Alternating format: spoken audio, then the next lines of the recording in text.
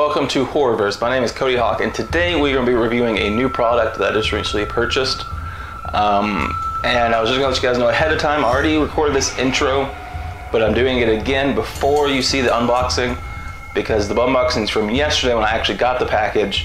But I recently ordered a new microphone. I just got in today, so I wanted to test it out and see how much better it sounds than the camera microphone I was already using. So I'm doing the intro again, and I was just giving you guys a heads up that if the audio sounds better now, that is why. And the video you're about to see, it's going to be the original audio before I got the microphone, so it's not going to sound as good as this hopefully does now. So just giving you guys that note so you guys know before you see the next video and the audio sounds like shit. Just a heads up. Um, but we are going to be unboxing a new product today, a horror replica that I just got from Amazon.com. Hope you guys enjoy it. All right, and we're back. Let's open it up. Here's the box. Like I said, just came from Amazon. So let's get this open and show you guys what I got and we will see if it's decent quality for the price. I didn't spend a lot on it. Um, there's another version of this from NECA that's about double the price. Um, but obviously I'm not, I mean I guess you guys don't know yet, but I'm not really going to use this. You know, it's mainly just for uh, decoration and for prop and if I ever do a video movie review on this.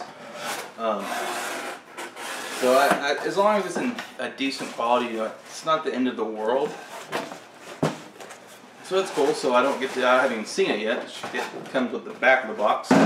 So here it is. I if you guys can see that from here. It is the, what brand is Rubies? Freddy Krueger replica metal glove is what they're calling it, but you know, scissor hand, not scissor hands, what? Knife hands, knife fingers. So there's the front get a little good look at that. So from first look, I mean, it looks pretty good. Um, like I said, I mean, it was only $30, so I expect to be amazing. Um, yeah, I mean, I'm happy with it so far. I mean, and it feels relatively heavy. Like, it's not super light, which is a good thing.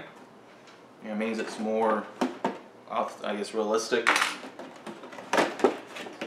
Um, but yeah, there's one from NECA that's supposed to be a lot better um, but I think it's $69. I was going to buy it the other day actually because um, a store in my town used to sell it. But for whatever reason they quit. So I was like, I'll just give this one a try first. So there it is. And I will, this might take a second, but there's zip ties on it. So we have to get these bad boys off.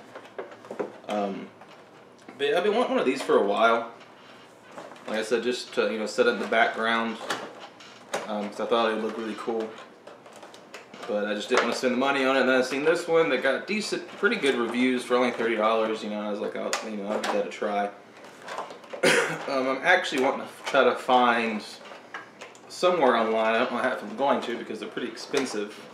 I want to try to find the. Um, I want to actually find the book from Evil Dead. I'm not even going to try to pronounce it because I always butcher that.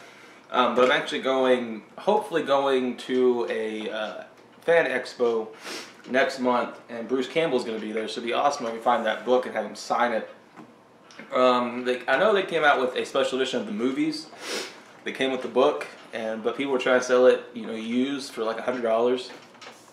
And I know a awesome website called uh, uh, Trick or Treat Studios. I don't know if you guys have heard of those. If not, you should go check them out. They have one you can pre-order right now for $89.99, which I would do in a heartbeat but I don't think it's going to be here before I go to that because it's in less than a month away.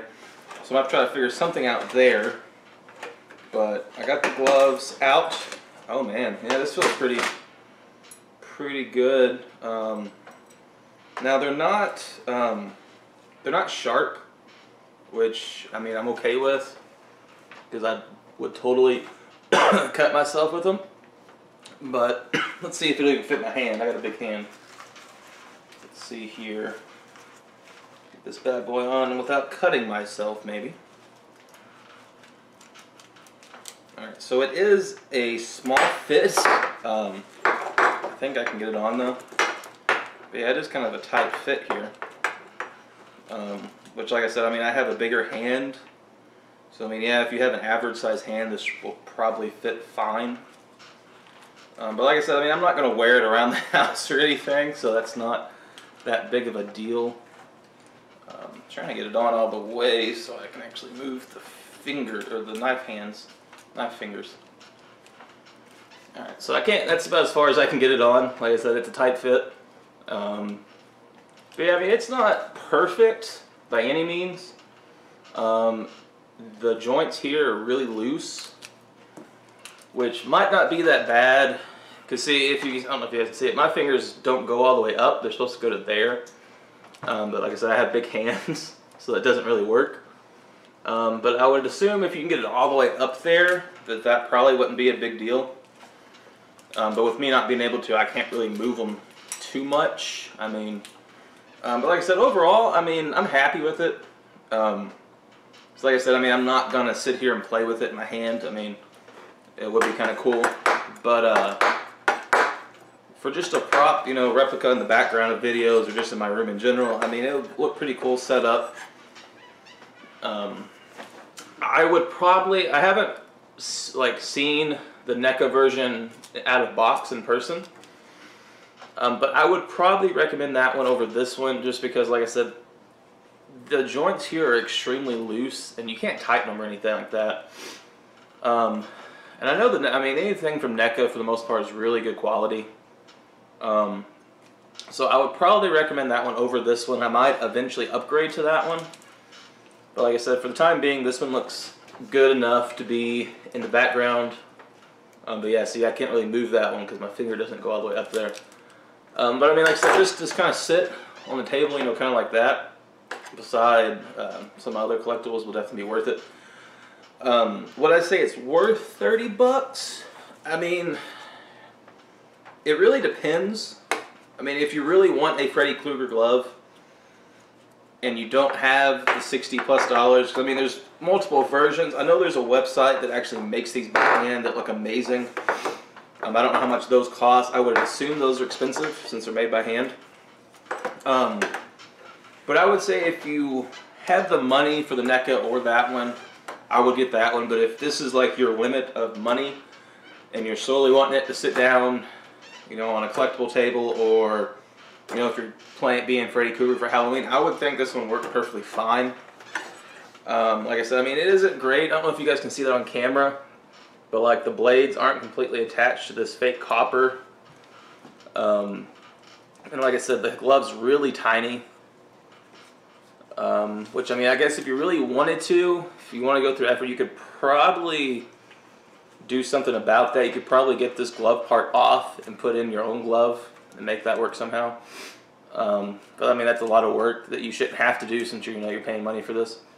So yeah, on a budget, I would I would say this would be fine to set up in your room or wherever. Use it for trick or treating.